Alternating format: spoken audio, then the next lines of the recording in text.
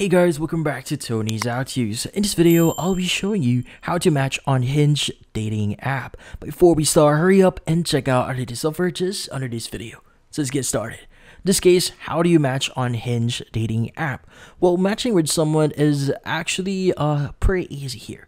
So what we need to do is we first uh, need to open up Hinge here. And from here, what we need to do is we need to go to our Hinge. Now, from here, what we need to do is we need to start liking different people here. So make sure to like only the people or the uh, people that you'll be seeing here uh, in case uh, basically like them if you're really interested. Because the great thing about Hinge here is they actually record what type of people you like. So, for example, if you like someone or you repeatedly uh, like someone or this type of person, then they will record that and they will actually match you up with different people that might like you that might like your profile as well. So in this case, for example, let's go ahead and click on the heart icon next to this uh, person's icon uh, uh, picture here. Just click on the send like option here.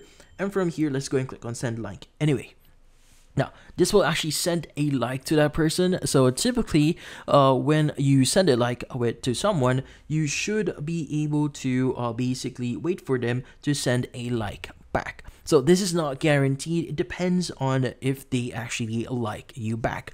But most likely, if you like someone, your profile will actually uh, will randomly appear on their profile. So if you're using the actual app, but then again, it increases your chances actually appearing on their profile feed. Now, if they do like you back, it's going to be marked as a match.